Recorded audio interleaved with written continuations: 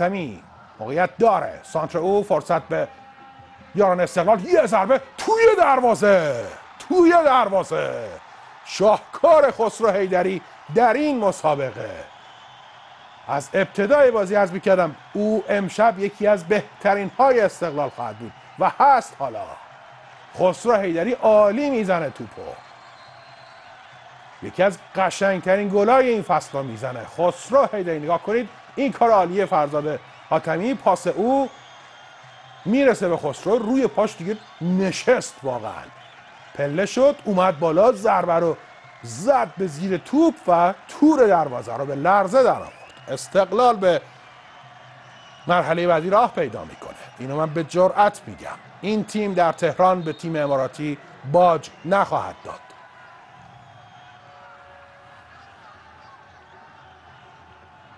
درگیری سفت و سخت فرزاد حاتمی این پاس قشنگش به خسرو حیدری واقعا میارزه که چند بار این رو نگاه کنیم.